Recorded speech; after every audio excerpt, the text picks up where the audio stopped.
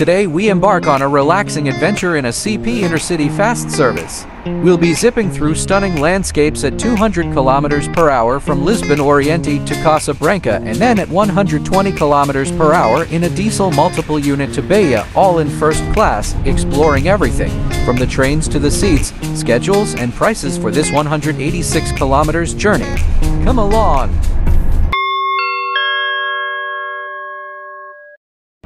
Hi, and welcome to Lisboa Oriente, where today's journey begins. Welcome to my first trip report as well.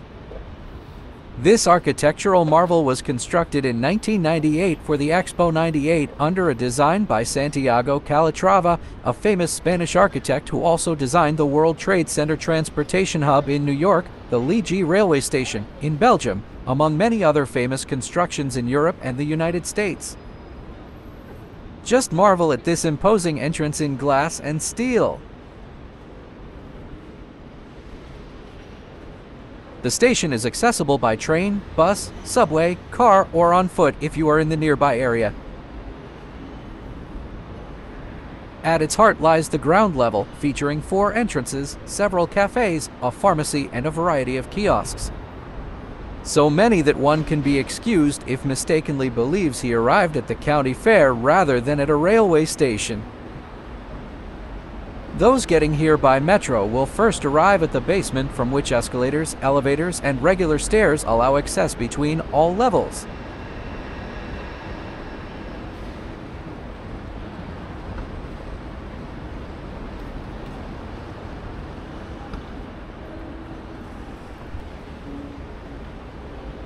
Let's move along and nearer to the train platforms.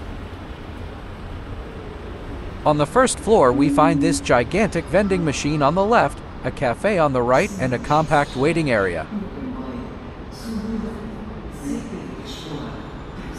Let me show you a little of the station's first floor.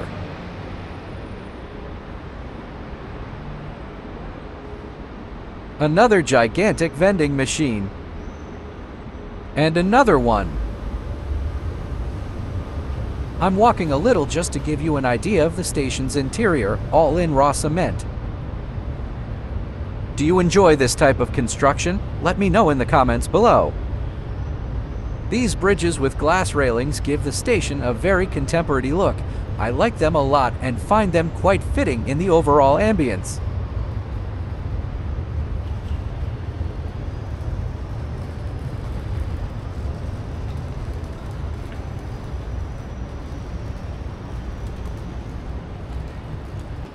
There are multiple ticket offices in these rectangular prism structures rather than being centrally located.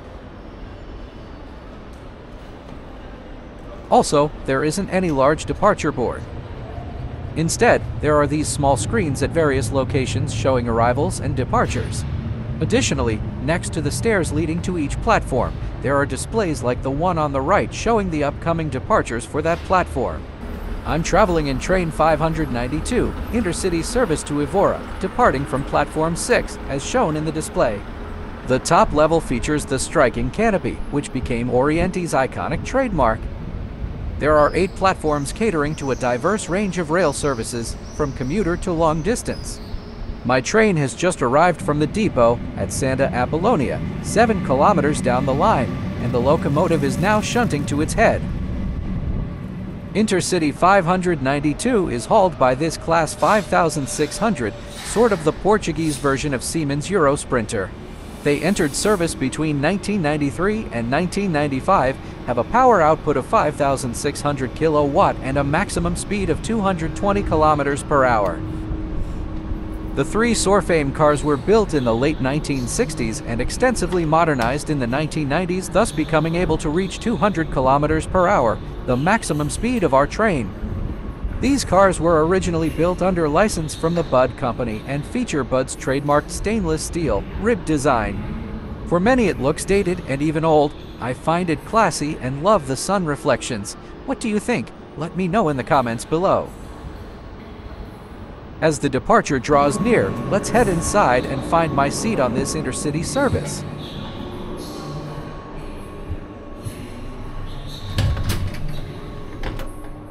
In a moment, we'll take a look at both first and second classes, but for now, let's just appreciate the overall soothing design of the first class as the train is about to depart. I barely had time to walk the full length of the train to show you the departure from the rear on time at 9.02. It's a great opportunity to see Oriente's canopy as it gradually fades in the distance. The departure is shown at two times speed,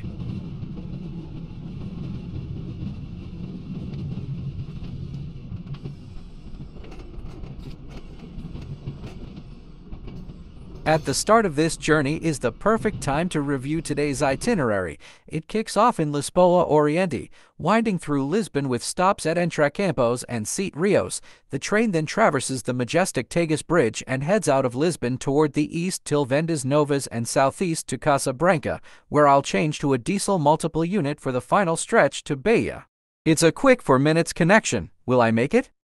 This is my comfortable, beautiful blue seat with no amount of recline that I could find but with generous leg room. There's a sturdy metallic folding table with a cup holder. An individual reading light above. A trash bin and in some seats also a power socket but no USB ports which would be a welcome addition. In less than 20 minutes after leaving Oriente, we arrive at the Tagus Bridge, a magnificent structure stretching 2,277 meters across the river. This engineering marvel was constructed by U.S. Steel and unveiled in 1966, offering these fascinating views. Though originally designed for both road and rail traffic, initially only the road was open. It wasn't until 1999 that the bridge was enhanced to accommodate trains, marking a groundbreaking improvement in connectivity between the two banks of the Tagus. Today, Fertagus commuter trains, intercity, and Alfa long-distance trains all traverse this remarkable bridge, offering their passengers an opportunity to appreciate these breathtaking views over the city and the river. Pragal, the station immediately after the bridge, is our next stop. It's mainly a commuter train station, but intercity services, like this one, call here as well. In a second, I'm going to show you the entire train. This is the first class cabin in a 2 plus 1 configuration, with nicely appointed curtains and a soothing ambience that is perfect for unwinding during a trip. Immediately after there's a bar which is unfortunately closed. I won't starve, but a coffee in these seats would be quite welcome. It's an inviting area which I'm sorry to see unused. In the wall, next to the counter, there's a menu for when the car is used in trains with bar service.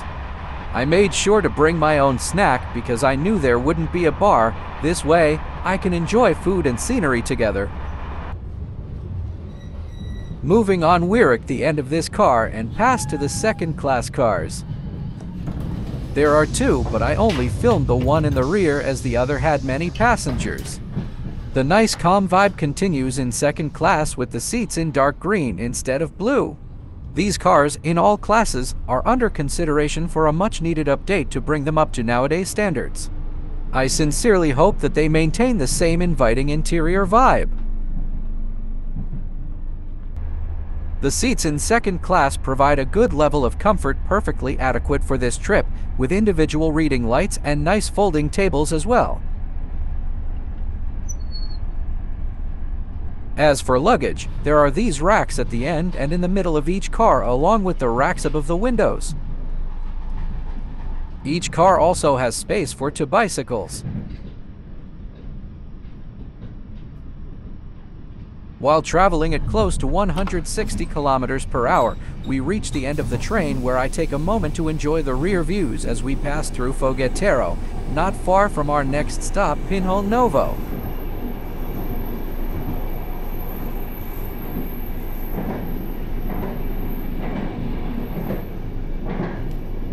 After Pinhal Novo, we enter the longest straight stretch on the Portuguese railway network, spanning almost 15 kilometers from Pinhal Novo to Poceirão.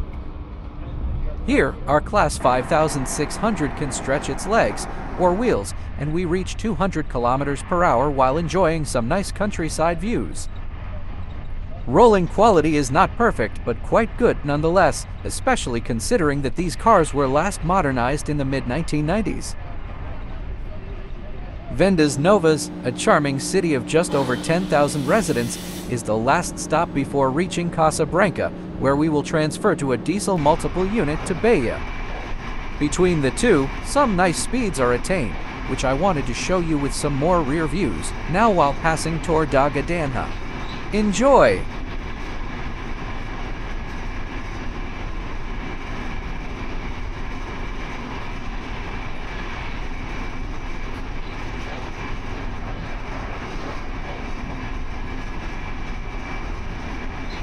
Before I know it, we reach Casa Branca and catch my next train just in the nick of time.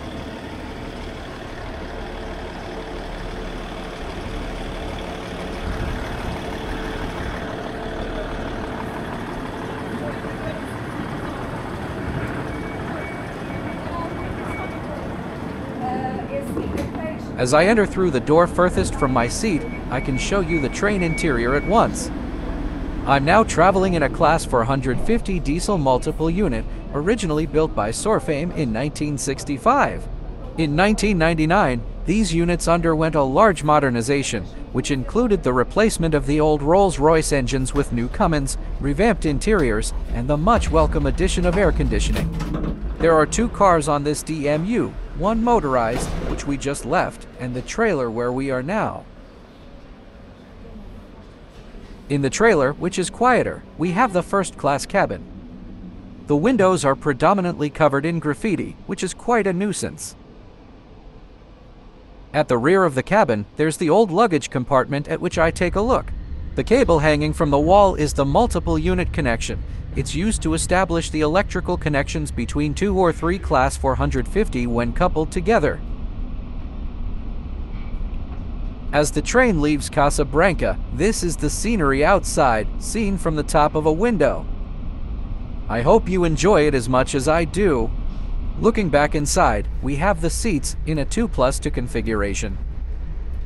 These are just plain seats with no frills attached, the only difference between first and second class being the headrests.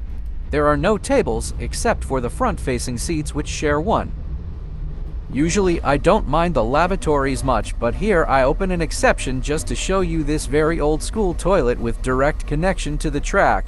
Not all that common to find one of these nowadays. Although branded as an intercity service, between Casa Branca and Beja we make four brief stops to serve villages along the route. If taken all together, this being speed, service, and comfort, maybe these services shouldn't bear the intercity designation. They aren't bad, but nonetheless, they are quite inferior to the other intercity trains, so maybe branding them as such is a stretch and they should receive some other designation. The expansive views in this part of the country, though, never disappoint. The graffiti, however, forced me to film the scenery through one of the doors given that there wasn't a single window in the whole first class from which I could see outside while seated.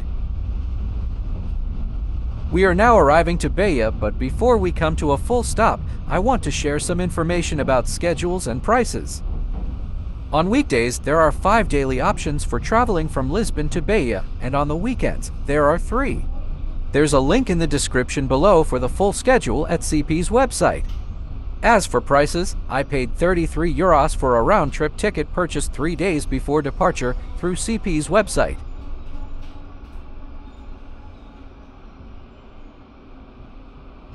I know that back at Casa Branca I promised to show you the class 450 DMU in which I traveled, and I will. However, it is now shunting to pass from line 1 to line 2, so while waiting, I'll show you the station. It's a simple and elegant design, in white and with tiles representing various agricultural activities, inaugurated in 1940. Note also the charming lamps hanging from the ceiling. Inside, there's this charming, old-style waiting room which still keeps an old clock. I think I hear the Class 450 coming back to the station, so let's go and take a look.